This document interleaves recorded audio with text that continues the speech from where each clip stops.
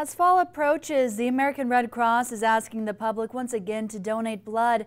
KQ2's Danielle Soxie has more on what the Red Cross is saying.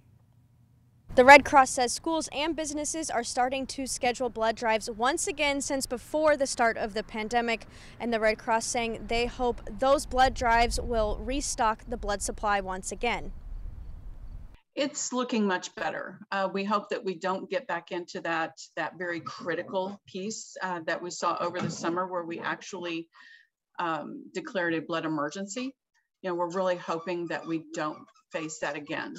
Um, but certainly, you know, we're we're working hard to prepare for that.